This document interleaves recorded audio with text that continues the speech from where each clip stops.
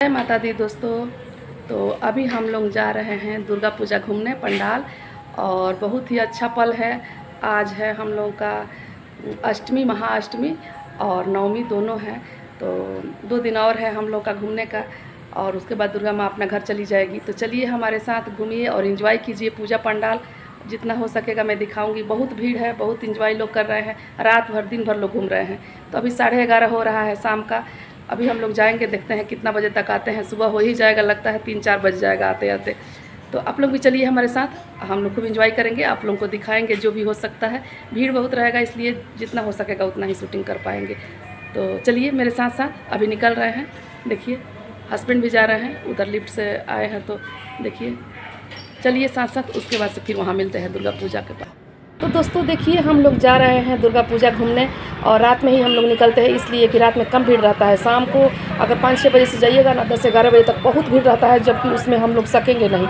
इसलिए बच्चा लोग मेरा जाता है शाम को और हम लोग जाते हैं रात में ग्यारह बजे के बाद से। तो चलिए घुमाते हैं आप लोग को दुर्गा पूजा पंडाल। हम लोग आ गए हैं मेला में मतलब कि दुर्गा पूजा पंडाल घूमने तो आप लोग देख सकते हैं दुर्गा पूजा पंडाल तो देख सकते हैं, हम आ गए हैं यहाँ टुईला डुमरी, जमशेदपुर का बहुत ही मशहूर पंडाल है, जो ताज होटल मुंबई का है, ना वही के थीम पर बना है। बहुत ही खूबसूरत पंडाल है, और देखकर आप लोगों को भी लग रहा होगा कि कितना सुंदर है। देखिए, ये हम लोग को बारह बजे रात का देखिए कितना भीड़ है, बारह बजे रात में। तो सोचिए कि शाम को कितना भीड़ होगा, इसीलिए हम लोग रात में आते हैं। और देखिए जगमग जगमग पूरा जमशेदपुर ही पूरा दुल्हन जैसा बन गया है। और देखिए इधर झूला वूला है पूरा। तो शाम को झूला खूब चलता है क्योंकि बच्चा लोग आता है और आधा रात में बच्चा लोग चले जाता है तो झूला कम चलता है क्योंकि बड़ा लोग झूला कम झूलते हैं। और देखिए ताज होटल का खूबसूरती लग रहा है कि एकदम यहाँ ताज होटल मुंबई का आ गया है। बहुत ही अच्छा थीम पे बना है और बहुत ही कलाकार लोग मेहनत भी किए हैं। और कुछ लोग छोटे छोटे बच्चे लोग जो है वो लोग झूला झूल रहे हैं। तो देख सकते हैं कितना खूबसूरती से ये लोग कलाकार बनाए हैं। बहुत ही खूबसूरत है। माता रानी उन लोग को बहुत ज़्यादा तरक्की दे जो लोग बनाए हैं, जो कलाकार लोग बनाए हैं, हर साल हमारे यहाँ बहुत अच्छा बनता है। और इतना पंडाल बना है ना कि दिखाना मुश्किल है। हम बहुत पंडाल घूमे, परंतु ज़्यादा नहीं शूटिंग कर पाए भीड़ के कारण। थोड़ा सा ही शूटिंग किया है इसी को दिखा रहे हैं। देखिए यहाँ पर भी, यहाँ पर भी पंडाल है जो कि काफ़ी खूबसूरत है। यहाँ भी पीछे का सीन मैं नहीं दिखा पा रही हूँ। पीछे झोपड़ी वगैरह बना हुआ है। और ये है आपको बर्मा मेंस जमशेदपुर का पंडाल। और टेलको टेलको का, और यहाँ देखिए भोले बाबा का बर्फानी भोले बाबा बने हैं। यहाँ बहुत लोग पैसा भी चढ़ाया है और बगल में तालाब बना है। अब बर्फ़ से बना हुआ है भोले बाबा का लिंग महाकाल का। तो बहुत ही खूबसूरत यहाँ भी दर्शाया गया है, देख सकते हैं। और ये पंडाल है। तो ऐसे ही है, चारों तरफ़ बना हुआ और बहुत बड़ा बड़ा पंडाल बना है, जहाँ बहुत भीड़ थी। तो हम उसमें नहीं कर पाए, क्योंकि मोबाइल का भी डर रहता है। यहाँ देखिए पूजा हो रहा है, अष्टमी से नवमी में जा रहा है तो साढ़े बारह बजे रात में मतलब पूजा हो रहा है। और ग्यारह बजे हम लोग निकले, साढ़े ग्यारह ग्यारह बजे निकले ही तो यहाँ पर आ गए हैं। और देखिए, बहुत सारा पंडाल हम लोग घूम रहे हैं। अभी बहुत घूमेंगे तो हम बैग में रख लेंगे मोबाइल, क्योंकि नहीं कर पाएँगे, इतना भीड़ हो जाता है पंडाल में। जहाँ भीड़ बहुत ज़्यादा है, वहाँ मैं मोबाइल बिल्कुल नहीं निकाल रही हूँ। तो देखिए, यहाँ कितना सुंदर यहाँ बना है। परशुराम जी है, गैया है, कृष्ण भगवान है, और यहाँ छोटा भीम भी बने हैं, देख सकते हैं। और ये है बिरसा नगर का पंडाल, छोटा भीम बने हैं, बहुत ही खूबसूरत सजाया गया है। अब पंडाल भी बहुत खूबसूरती से सजाया गया है। तो देखिए, यहाँ जहाँ जहाँ कम भीड़ है, वहीं वहीं मैं ले रही हूँ। और ज़्यादा भीड़ है, बहुत बड़ा बड़ा पंडाल है, वहाँ मैं नहीं ले पा रही हूँ क्योंकि थोड़ा सा अपने आप को सुविधा रहना चाहिए। इसीलिए और बड़े पंडाल का कुछ अगर मेरा हस्बैंड भी शूटिंग की है, उसको मैं बाद में आप लोगों को डाल दूँगी तो आप लोग देख लीजिएगा। माता रानी से आशीर्वाद ले लीजिए। देखिए, माता रानी कितनी बढ़िया से बनी हुई है और आप लोगों के यहाँ कैसा बना है, ज़रूर बताइएगा। और माता रानी का तो जवाब ही नहीं है। माँ जगत की जननी है, सभी को आशीर्वाद देगी, सभी बच्चों को, सभी बड़ों को। तो और यहाँ भी पंडाल है, देख सकते हैं। यहाँ भी पंडाल बना हुआ है। तो हम लोग इस पंडाल के पास पहुँचे हैं। तो इसका भी खूबसूरती देख लीजिए। ये भी बना हुआ है किसी मंदिर के आधारित पर, लेकिन नाम इसका नहीं जानते हैं। ये बर्मामेंस का है। और यहाँ बहुत बड़ा मेला लगा हुआ है, जो कि शॉर्ट में आप लोगों को दिख जाएगा। शॉर्ट में बहुत सारा डालूँगी और डाली भी हूँ।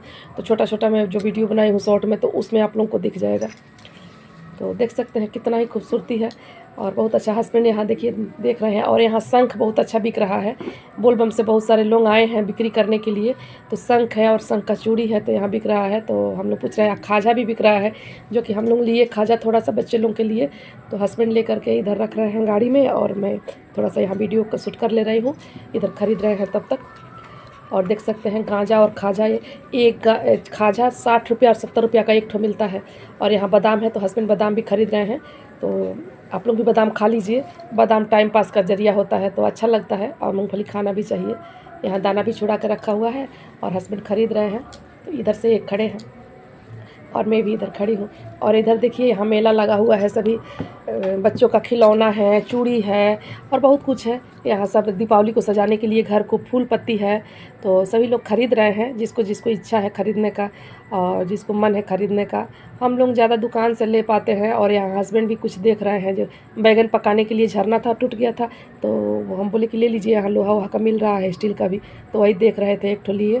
तो हस्बैंड यहाँ ख़रीद रहे हैं। और मैं भी देख रही हूँ। यहाँ बहुत कुछ है कढ़ाई है, तवा है, बहुत कुछ बिक रहा है मेला में। तो हम बोले कि यहाँ आए हैं, दिख रहा है तो ले लीजिए। तो इसीलिए नहीं तो खाने पीने का सामान ले लेते हैं कुछ कुछ लेकिन ज़्यादा कुछ नहीं ले पाते हैं। और एक ठो बैग लेकर ले लिए, देख रहे थे तो ले लिए एक ठो बैग अच्छा था। तो सोचे कि ले लेते हैं, नहीं तो जो दिखता है कि अच्छा है, उसको ले लेते हैं, नहीं तो ज़्यादा कुछ नहीं ले पाते हैं। क्या कि समझ में नहीं आता है, मेला का चीज़ कुछ पसंद नहीं आए तो फिर वापस भी करना मुश्किल होता है कि मेला में कहाँ जाएँगे, वापस करने दुकान का रहता है तो आदमी वापस कर लेता है आराम से। यहाँ, टाइल्स पर जो चटक जाता है बर्तन रखने के लिए, वो भी ले रहे हैं कि उससे सेफ़ रहेगा। तो हस्बैंड ले रहे हैं छोटे छोटे चीज़ जो है, वो ले ले रहे हैं। और मेला का चीज़ जो होता है ना, क्या होता है कि फिर आप वापस नहीं कर सकते हैं, अगर आप ले रहे हैं और बाद में फिर अगर पसंद नहीं आए तो दुकान का रहता है तो वापस करके दूसरा भी ले सकते हैं। इसलिए थोड़ा सा हम लोग को ऐसा लगता है, लेकिन दिख जाता है तो मन में चल जाता है कि कुछ ले लें, ज़रूरत का चीज़ है, अगर लेना है तो। और यहाँ सब सबुरदानी है और बहुत कुछ है। बच्चे लोगों के लिए खिलौना है तो सभी ले रहे हैं और इधर कप, थाली, प्याली, सब चीनी मिट्टी का बिक रहा है। तो यहाँ भी हस्बैंड कुछ कप वगैरह देख रहे हैं और चीनी मिट्टी का थाली और सूप पीने वाला कटोरी कुछ लेना था तो वही यहाँ भी ले रहे हैं। कुछ छोटा छोटा चीज़ छः ठो कप ले आया और कप बहुत सारा है लेकिन इनको पसंद आया तो छः ठो और कप ले लिए और यहाँ भी शंख यहाँ भी है, देख सकते हैं। तो यही सब है, मेला में यही सब मिलता है और जो कुछ भी है, बस तो बने रहिए आप लोग, और मैं वापस आ रही हूँ, क्योंकि अभी बज गया है साढ़े तीन साढ़े तीन हो गया है सुबह का, शाम ग्यारह बजे का निकले हुए, साढ़े ग्यारह बजे का। अभी हस्बैंड बोल रहा है कि और पंडाल घूमो, लेकिन मैं बोली कि नहीं, अब मैं थक गई हूँ, अब नहीं घूमूँगी, फिर दूसरे दिन घूम लूँगी, एक दिन और है तो मैं घूम लूँगी, लेकिन अब मैं थक गई हूँ, अब नहीं घूमूँगी। तो देखिए कितना अच्छा सजाया गया है चारों तरफ़, और सुबह का समय है। चारों तरफ़ चिड़िया बोलने लगी है, लेकिन मैं बोली कि एक दो घंटा लेटूँगी उसके बाद फिर सुबह उठना है, क्योंकि पंडाल में भी जाना है सिंदूरदान करने और खोइछा डालने, इसलिए। तो हम बोले, नहीं, आज अब मैं अब नहीं घूमूँगी, थक गई हूँ। नहीं तो हस्बैंड चाह रहे थे कि भोर हो जाए, पाँच बज जाए, तब निकलेंगे, आएँगे। तो देखिए कितना सुंदर सजा है हमारा जमशेदपुर पूरा चारों तरफ़। कितनी अच्छी लग रही है ना? तो बने रहिए आप लोग, और घर चलते अभी हम लोग घर पहुँच गए हैं, देख सकते हैं। सुबह का बज रहा है चार, और गाड़ी यहाँ लगा रहे हैं। रात भर हम लोग साढ़े ग्यारह से निकले थे, घूमते घूमते अभी पहुँचे हैं। और देखिए, गेट में हस्बैंड ताला लगा रहे हैं, अभी हम लोग जाएँगे और आराम से सोएँगे, क्योंकि पूरा थक गए हैं। तो ताला लगा देते हैं, फिर जाकर हम लोग सोएँगे आराम से। आप लोगों को ये ब्लॉग कैसा लगा, दुर्गा पूजा का, ज़रूर बताइएगा। कमेंट में माता रानी सबको खुशियाँ दे, ढेर सारा बरकत दे। हमेशा स्वस्थ रखे, यही प्रार्थना करती हूँ।